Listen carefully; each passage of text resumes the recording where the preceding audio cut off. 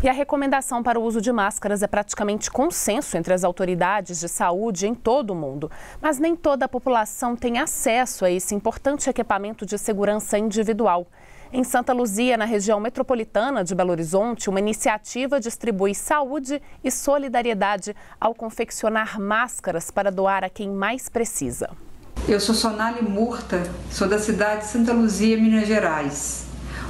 Hoje moro na cidade de São Paulo há 26 anos. Eu assisti uma entrevista de um médico é, chinês que a indicação dele era que todos deveriam usar máscara para se protegerem. E eu fiquei muito preocupada com a cidade de Santa Luzia. Pensei como eu poderia estar ajudando. Por ter familiares e amigos na cidade, é, resolvi criar uma campanha para confecção de máscara para serem doadas.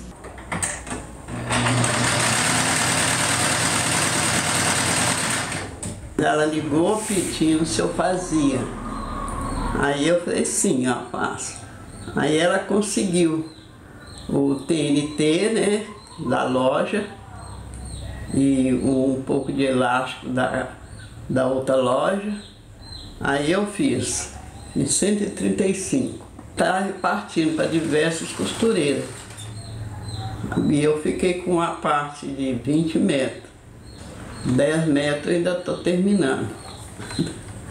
Já fiz 50, está pronto e tem mais 50 que eu estou fazendo agora.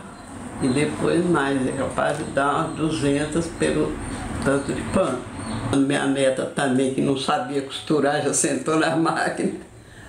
Então, está tendo ajuda, né, de todo mundo. Formei uma rede solidária de pessoas comuns, familiares, amigos, autônomos, costureiras, motoboy, comerciantes e ONG.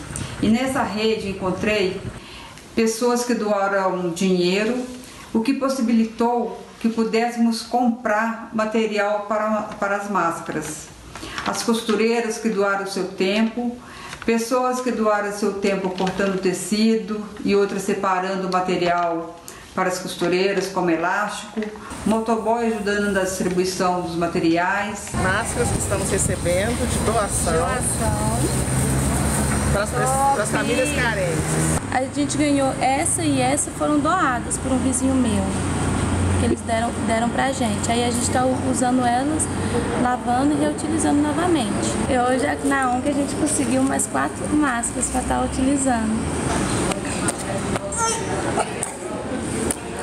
O mais importante é a gente proteger os nossos idosos, nossas famílias, nossas crianças, né? Tá sempre conscientizando que é uma doença que mata, é perigosa. Os médicos ainda não descobriram a causa, mas eles estão estudando, batalhando para que todos sejam curados e que o país volte ao normal. Como a gente já tem que ficar na quarentena mesmo, né? A gente já tem alguma coisa para distrair um pouco, né? Porque senão você fica com a cabeça, né? Imaginando, pode sair, eu sempre saio, agora tem que ficar quieta.